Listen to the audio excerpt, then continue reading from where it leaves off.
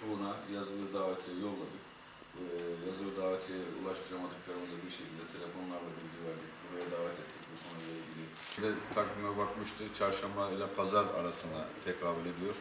Bu fuara katılmak isteyen kırtasiyecilerimizi e, fuara götürmek ve getirmek istiyoruz.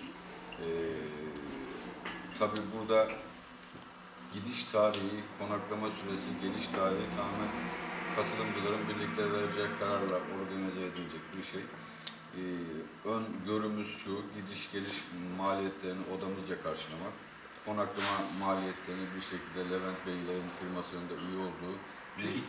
TÜKİT, e, Türkiye Kırtasiyeciler Derneği. Türkiye Kırtasiyeciler Derneği üzerinden de konaklama masraflarınızı e, karşılatmak, yani size mümkün olduğunca az maliyet getirerek böyle bir fuarı ziyaret etmenizi sağlamak amacındayız. Katılmak isterseniz tabii ki siz de söylediğim şartlarla e, katılabilirsiniz.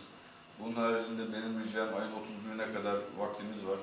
Buraya gelmeyen, konuya ilgi göstermeyen veya yolladığımız davetiyeyi bile okumasa bile haberim olsaydı ben de gelirdim diyebilme potansiyeli olan kırtasiyeci arkadaşlarımız olacaktır.